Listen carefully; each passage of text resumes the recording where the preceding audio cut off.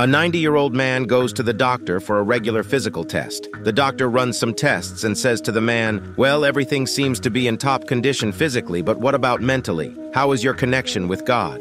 And the man says, oh, me and God, we're tight. We have a real bond. He's good to me. He knows I have poor eyesight, so he's fixed it. Whenever I get up in the middle of the night to go to the bathroom, poof, the light turns on. When I'm done, poof, the light turns off. Upon hearing this, the doctor was astonished and said, Wow, that's incredible. He called the man's son and said, I'd like to speak to you about your father's connection with God. He claims that every night when he needs to use the restroom, God turns on the light for him and turns it off for him again when he leaves. Is this true? Meanwhile, the son's wife in the background screams, Honey, Dad is peeing in the refrigerator again.